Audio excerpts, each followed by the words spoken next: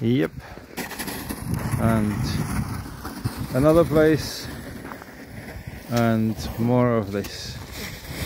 Snow, snow, snow for the Sima seal nesting places.